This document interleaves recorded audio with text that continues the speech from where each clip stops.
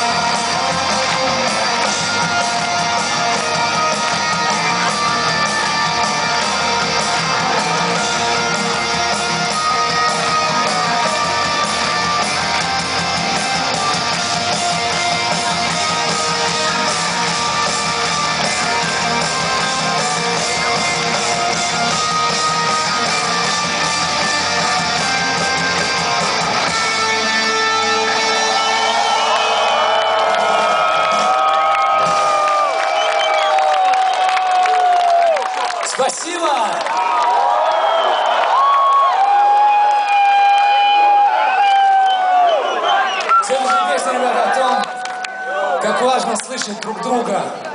Потому что когда ты затыкаешь уши и говоришь, что мне ничего не важно, я не хочу ничего слышать от вас, когда ты не готов к какому-то конструктивному диалогу, получается что-то типа того, что сейчас происходит на Украине. И э, я надеюсь, что наступит когда-то момент, когда они смогут друг друга простить и нормально как-то сосуществовать рядом и вместе.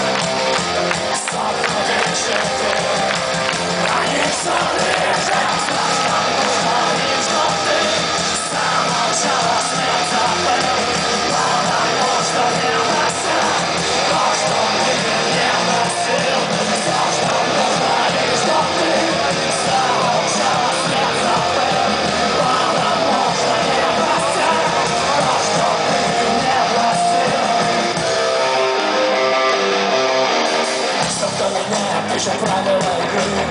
Можно пытаться поиграть, но только до поры Потоки мира катают дыхами дрон Плевать на правила, тебе все поперек и хоть на площади среди своих друзей.